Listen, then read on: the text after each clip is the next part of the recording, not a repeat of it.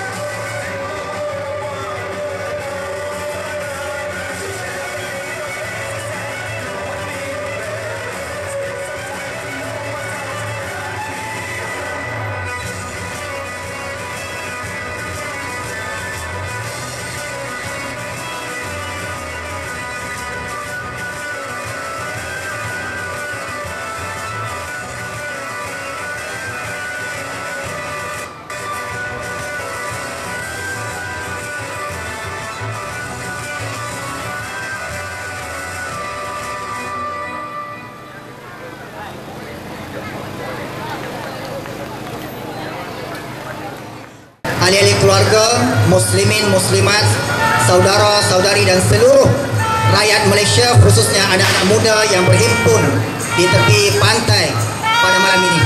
Alhamdulillah sebagai orang yang beriman, marilah pertama sekali kita panjatkan kesyukuran kepada Allah. Dan Allah telah menganugerahkan nikmat kesihatan yang baik kepada kita. Pada malam ini, suatu malam yang sangat bermakna kepada seluruh rakyat Malaysia. Kita sedang menanti saat detik 12 malam untuk kita menyambut bersama-sama insya-Allah seluruh rakyat Malaysia di mana saja mereka berada. Sahabat-sahabat kita di Perlis, sahabat-sahabat kita di Kedah, di Pulau Pinang ini juga, di Selangor, di Johor, Sabah dan Sarawak. Kesemuanya menanti saat detik 12 malam untuk kita menyambut, untuk kita merayakan sambutan kemerdekaan negara kita bagi kali yang ke-55. Alhamdulillah, nikmat yang telah diberi oleh Allah Subhanahu wa taala. Sebagaimana yang kita sebut, walaupun negara kita telah mencapai kemerdekaan 55 tahun, tetapi kita melihat realiti yang berlaku dalam negara kita hingga ke saat ini bagaimana kita masih lagi dicengkam dengan budaya-budaya yang dibawa masuk yang diimport dari luar.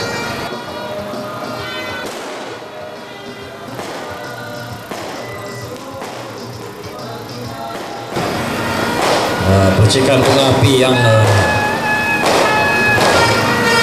begitu indah dan menceriakan suasana. Seperti mana cantik dan indahnya cahaya bunga api yang telah pernah lihat sebentar tadi.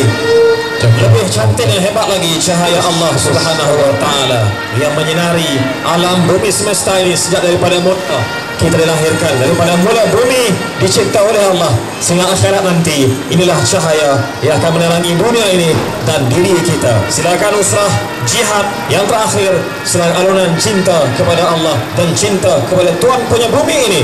Usratul jihad qasidah yang akan mempersembahkan pada malam ini. Silakan. Allahumma salli wa sallim wa barik